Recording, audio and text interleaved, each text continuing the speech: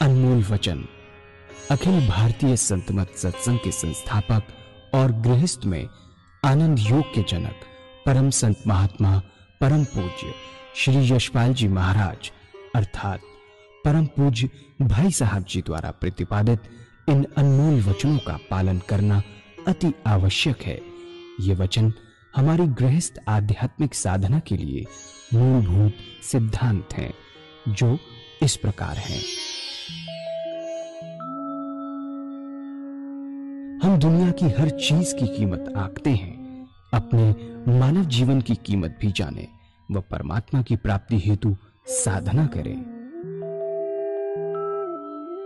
मनुष्य योनि एक उपहार है, इसीलिए परमात्मा को धन्यवाद देते हुए आधा घंटा प्रातःकाल, आधा घंटा सायंकाल पूजा अवश्य करें। सत्संग, सतनाम। व सदगुरु को प्राथमिकता देते हुए इसी के आधार पर ध्यान योगाभ्यास अवश्य करें व गृहस्थ के कार्यों को परमात्मा का कार्य समझकर उसी की याद में संपन्न करें। हर समय ये ध्यान रहे कि गुरु कृपा द्वारा परमात्मा की पवित्र सत्ता का हमारी आत्मा में वास है। अतः मन में निरंतर अपने इष्ट देव का जाप करें। मान सम्मान की इच्छा ना करें, व अपमान से दुखी न हो। परमात्मा के अतिरिक्त किसी और का भय ना करें। दूसरों की बुराई न करें, न सुने, सत्य व मधुर बोलें। अश्लील शब्द मुँह से ना निकालें। सभी से नम्रतापूर्ण व सुंदर व्यवहार करें। धर्म पत्नी के अतिरिक्त अपने से बड़ी से माता जैसा, बराबर की से बहन जैसा व छोटी से पुत्री जैसा व्यवहार करें। सांसारिक जीवन यापन की आवश्यकताएँ अंतहीन है, इसलिए अधिक से अधिक समय सत्संग में व धन परोपकार में खर्च करें। याद रखें, न स्त्री माया है, न धन दौलत, न ही परिवार। माया वह है जो हृदय को परमात्मा से दूर हटा दे। अतः निरंतर सत्संग और सदगुरु की शरण में रहने का प्रयास करें। भोजन अपने इष्ट को अर्पण कर प्रसाद रूप में परमात्मा की याद में करें। रात्रि में सोने से पहले अच्छे बुरे कार्यों का आत्मनिरीक्षण कर, उसका समुचित पश्चाताप करते हुए ध्यान करें। व प्रभु की गहरी याद में ही विश्राम करें। परमात्मा तू ही है, तेरी इच्छा पूर्ण हो।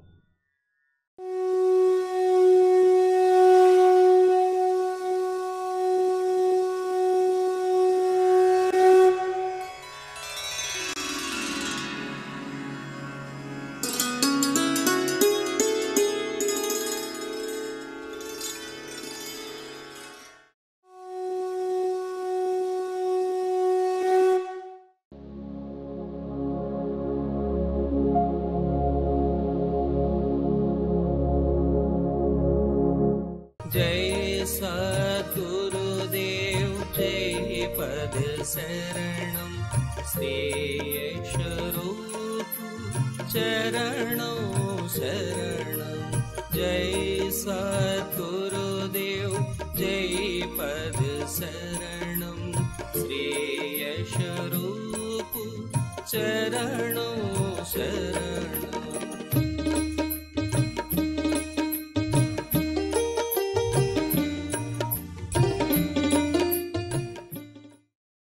अगर एक राजा ब्रह्मज्ञानी हो सकता है, हमारे पास तो जिम्मेदारियाँ कुछ है ही नहीं। हम क्यों नहीं हो सकते? हम भी हो सकते तो ये रास्ता बहुत पुराना है, जो मैं आपके सामने रखूँगा। इसे कहते हैं इतिमार इसमें एक चीज़ बढ़ाते हैं, अपनी ज़िंदगी में घटाते नहीं है। और बढ़ाते क्या है? परमात्मा का नाम।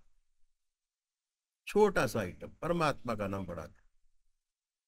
और उसका तरीका बताऊँगा कैसे बढ़ाएँगे। क्या है?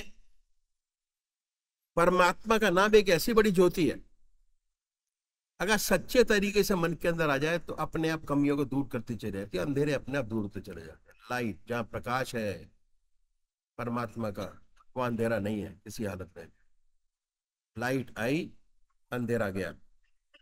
वैल्मीक महर्षि उल्टा नाम जपते जपते महर्षि हो गए और इतने बड़े महर्षि हुए, रामायण पहले लिख दी, घटना बाद में घटी।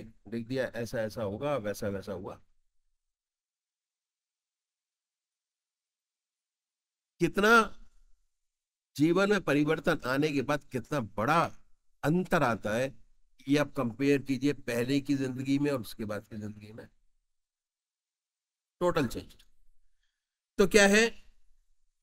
उसके जीवन में परिवर्तन आया और उल्टा नाम जपते जपते भगवान का नाम लेते लेते इतना ऊँचे महर्षि हुए कि रामायण पहले लिख दी घटना बाद में घटे अगर सच्चे हृदय से तो छोड़ना कुछ नहीं है आज की तारीख। जो आज आपकी ज़िंदगी है, जैसी भी है, उसमें एक चीज़ बढ़ाइए, बस। अब वो क्या है, इस रास्ते पे चलने वाले जो हमारे सदगुरु हुए, एक के पीछे एक, परमात्मा को पाने के लिए जीवन मुक्त अवस्था प्राप्त करने के लक्ष्य जीवन मुक्त अवस्था प्राप्त कर अपनी ज़िंदगी में बड़े कष्ट उठाए। ज़िंदगी बड़ी कठोर थी उन लोगों की। और रहते हुए बड़ी कठिनाइयों में इस विद्या को न केवल उन्होंने प्राप्त किया, बल्कि हमारे लिए कुछ गुर छोड़ गए। अगर इन गुरों को अपनाए तो हमारा रास्ता बहुत आसानी से तय हो कुछ नहीं करना। कोई तप नहीं, कोई कुछ नहीं, बड़े प्यार से बैठे हैं घर के अंदर। कोई रिस्ट्रिक्शन नहीं किसी भी चीज़ की। ऐड करनी है चीज़, बस। जीवन मुक्त अवस्था प्राप्त किए प्राणी में दो बात विशेष पैदा हो जाती है। पहली, निरंतर परमात्मा की याद। चौबीस घंटे परमात्मा की याद। चलते, फिरते, खाते, पीते सोते जागते दूसरा कर्म जो है, निष्काम कर्म हो जाते हैं कि मैंने नहीं किया, मेरे परमात्मा ने किया। मैंने नहीं जो करता है, वो करता है, मेरे को मानक बनाता है, करा देता है। ईगो। काम, क्रोध दो मोर, अहंकार, बहुत बड़ा दुश्मन है अहंकार। तो क्या है? ये दो बातें उसे स्थित पे कही है, जीवन मुक्त कही में पैदा हो जाती हैं। अब देखना ये कि इसी दुनिया में रहते हुए, इसी संसार में रहते हुए कोई संसार में रहना ही है, जा ही नहीं सकते। कैसे 24 घंटे का ध्यान बने? और कैसे निष्काम कर्म हमारे को हासिल हो जाए? क्योंकि दो ही मेन टारगेट है हमारे, करने के लिए। अब क्या है?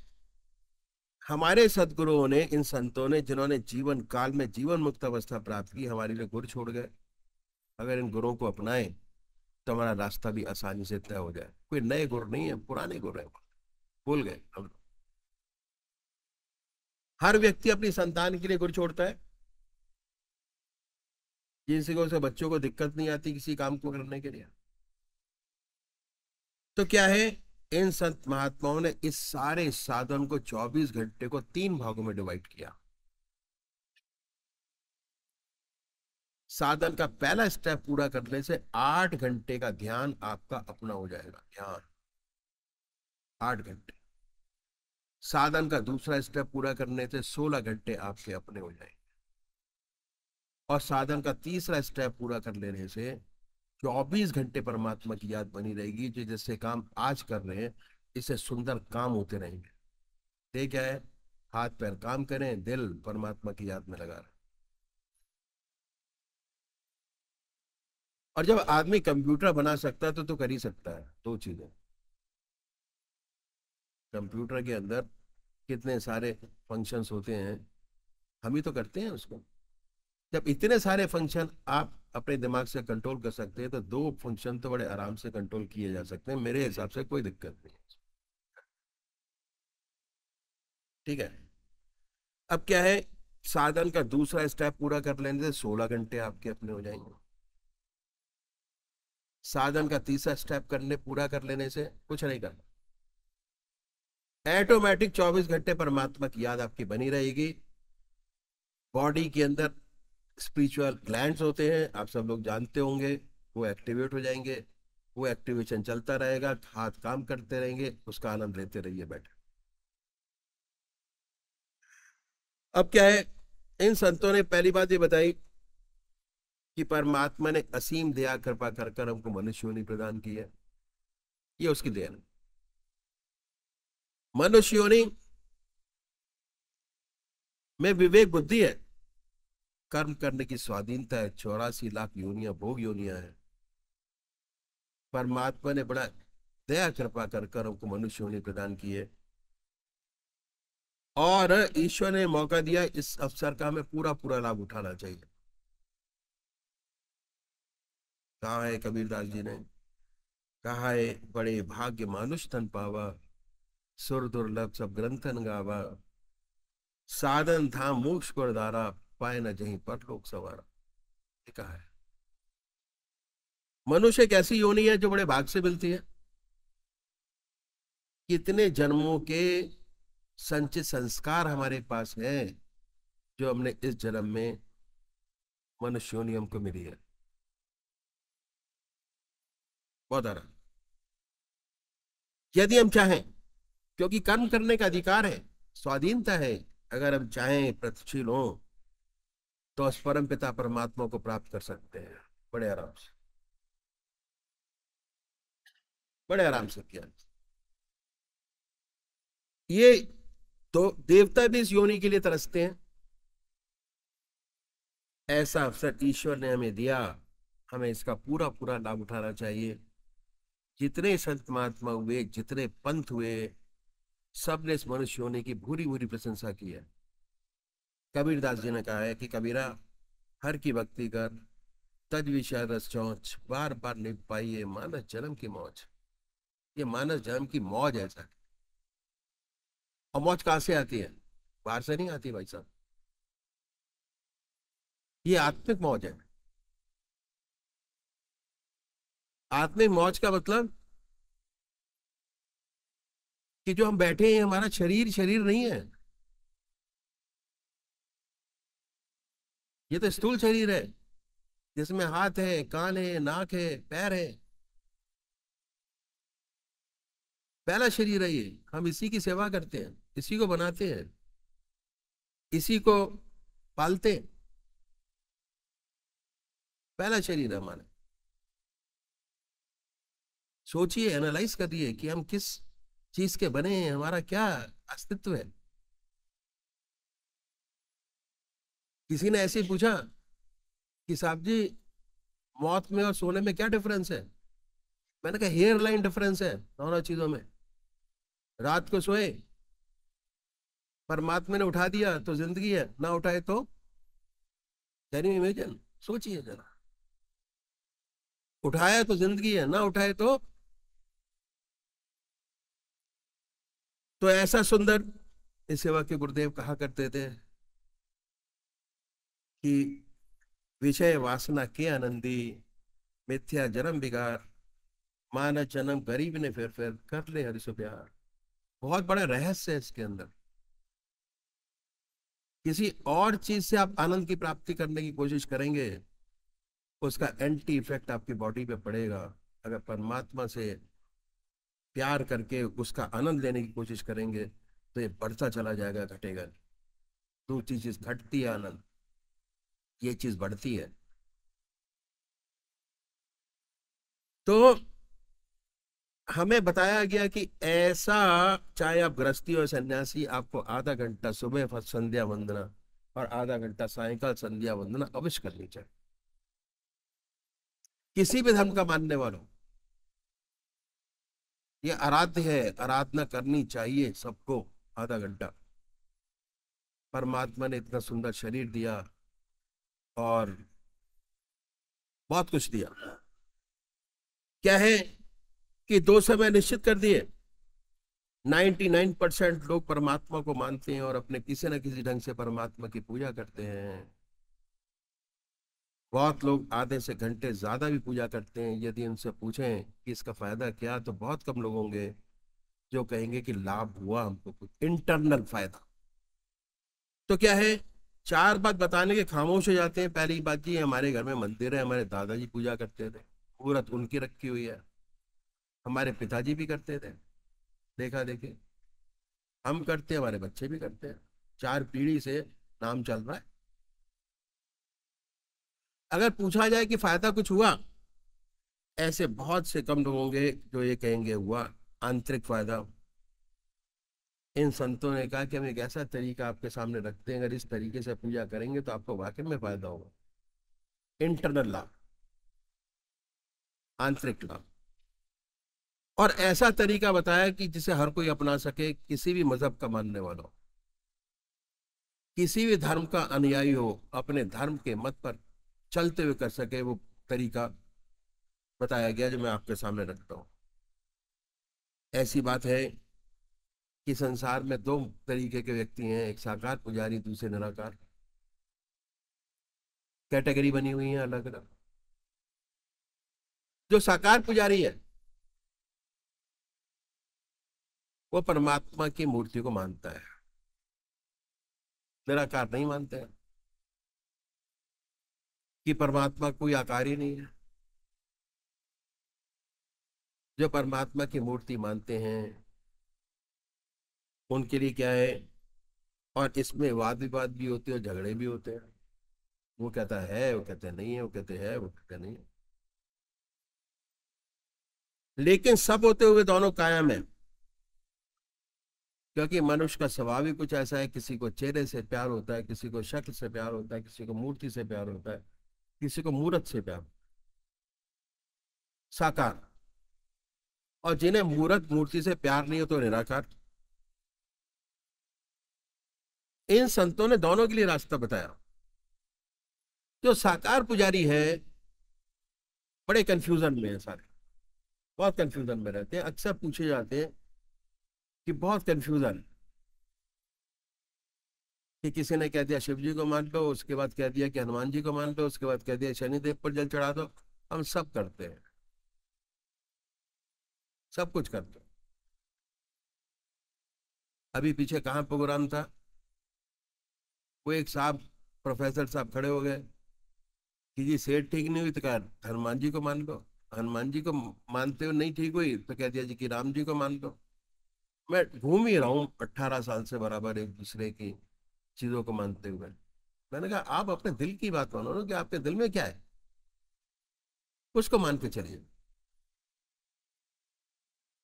तो अब क्या है कि दोनों के लिए रास्ता है एक इष्ट का निश्चित करना बहुत ज़रूरी है। परमात्मा की वो मूर्त जो आपको सबसे ज़्यादा अच्छी लगती है। सबसे ज़्यादा प्यारी लगती है। जिसमें मूर्त में, जिसमें भगवान की सबसे ऊँची भावना डाल सकते हैं, उसको मानिए। किसी की बात सुनने की ज़रूरत नहीं है, किसी के पास जाने की ज़रूरत नहीं है। आपकी आत्मा आपका सबसे बड़ा गुरु है। अगर वो कहता है शिव को मानते हैं तो शिव को मानिए। कहता है राम को मानिए तो राम को मानिए। एक। एक इष्ट की उपासना। डिफरेंट नहीं। एक इष्ट। मैं बताऊँगा क्यों डिफरेंट में दिक्कत आती है और एक में क्यों अच्छा रहता है। जिसमें भगवान की सबसे ऊँची भावना डाल सकते हो, उसे अपनाइए, उसे माने। उसे अपना इष्ट माने। उसी की पूजा करें। उसी का ध्यान करें। उसी को याद करें। उसको कभी बदले नहीं। ऐसा नहीं कि आज आप राम की पूजा करें, कल किसकी, परसों माँ की, उसके बाद शिव की। कि आज हनुमान जी का व्रत है, आज बृहस्पतिवार है, आज शनिवार है, आज शुक्रवार है। डिफरेंट तरीके से लगे हुए। क्या है? अगर रोज रोज बदलेंगे तो इसका विशेष लाभ आपको मालूम नहीं होगा। दरअसल में पूजा का जो मकसद है, वो चित्त की एकाग्रता प्राप्त करना कंसंट्रेशन ऑफ़ माइंड ये प्राप्त करना है। और उससे ऊपर उठे तो मैं ये कहूँगा कि चित्त की वृत्तियों का निरोध प्राप्त करना। विदाउट थॉट स्टेज और वो जब भी हो सकता है, जब आपका एक इष्ट हो। डिफरेंट होगा तो नहीं होगा। एक इष्ट होगा। कल भी मैंने आपको बताया था कि भजन के अंदर भजन कहते रहते हैं, एक घंटा, डेढ़ घंटा, दो घंटा अगर आपने भजन किया तो थोड़े टाइम तो आपका मन भजन में लगा रहता है। भजन में लगा हुआ है, जवान सूख गई है, गला सूख गया, मन के अंदर चल रहा है ना। इंटरनल शुरू हो गया। एक्सटर्नल अब कुछ नहीं है। जब तक बोल रहे तब तक एक्सटर्नल है। और जहाँ आपको ये सारी चीज़ें मालूम हुई इंटरनल शुरू हो गया और उसी की ज़रूरत है आज की तारीख में और किसी चीज़ की ज़रूरत ही नहीं। है that is second stage of puja, जिसे हम बोलते हैं मानसिक, मन से जाप करना। दैट इज़ मानसिक जाप, मन से। बोल रहे हैं शारीरिक जाप हो गया। जैसे ही सारी चीज़ें खत्म हुई ऑटोमेटिक मानसिक शुरू हो गया और जब तक चलेगा, जब तक आपके भजन चलते होंगे। तो क्या हुआ? एक ही पूजा कैसे करें? कुला कुशा या कंबल का आसन हो धूप दीप जलाएँ, बड़े प्यार से बैठिए, सुखासन से। और जो आपने इस चुना है बाई थॉट ख्याल से। बड़े प्यार से बैठे, आनंद से बैठे, कोई जल्दी नहीं। उसके बाद ये महसूस करें कि हमारा इष्ट सह शरीर हमारे सामने विद्यमान है। बड़े प्यार से आँख नीचिए, बड़े प्यार से बड़ी बड़ी आँखें हैं, जैसे एक पेंटर बनाता है। अगर उसको कहो कि शिव भगवान की मूर्त बना दो तो पहले भाई थॉट ख्याल में बना देगा जहाँ कहेंगे वहाँ आपको उतार देगा। इसी प्रकार आप भी अपने इष्ट की मूर्त अपने सामने बनाए। बड़ी बड़ी आँखें हैं, गोल चेहरा है जटाएँ हैं, सर्पों की माला। साफ़ सफ़ाई से बैठे, रात्रि के वक्त बदल कर बैठे, अगर स्नान नहीं कर सकते तो कोई बात नहीं। बहुत टाइम ये होता है कि हमने स्नान नहीं किया, पूजा छूट गई।